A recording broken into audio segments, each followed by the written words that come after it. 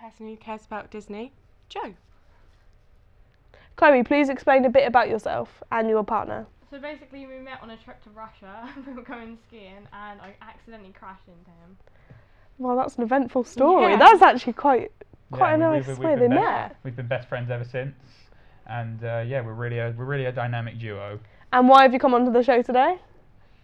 Um, we just thought Bit of a challenge. a bit of a challenge, yeah. and we you know we've been through a lot in these last few years, and we really thought that this was the uh, this was the next step for our friendship. Is this the make or break of a friendship? I would say so, yeah.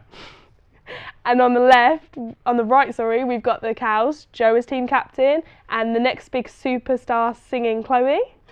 Now, Joe, please explain a bit about yourself and your partner.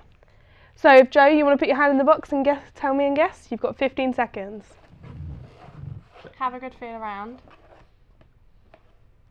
What? What is this? It feels like a mushroom. Mushroom.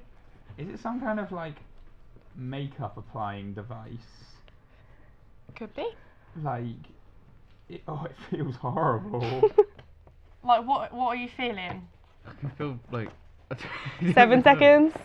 I can One. feel some sort of like something that's squidgy and then the other side's hard.